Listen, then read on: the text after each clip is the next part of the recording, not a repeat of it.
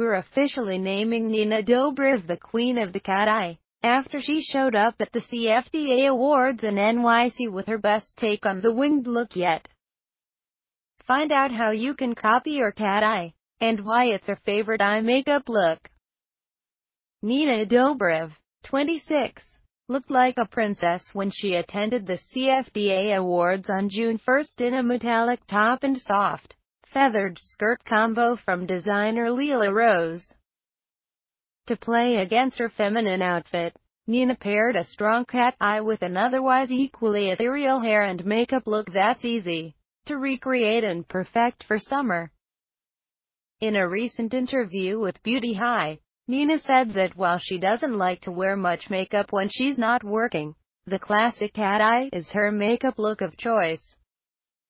Nina told the site, if I want to punch it up, I'll do a cat eye. A cat eye is always fun. Makeup artist Gita Bass created Nina's poreless complexion, glossy pink lips and precisely applied cat eye.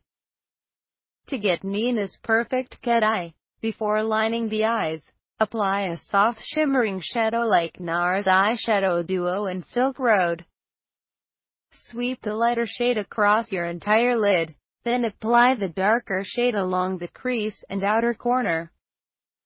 For Nina's perfect cat eye, Gita used Makeup Forever Aqua Eyes Pencil in matte black on the top and bottom lid, with MAC Fluid Line Gel Liner in Blacktrack over top.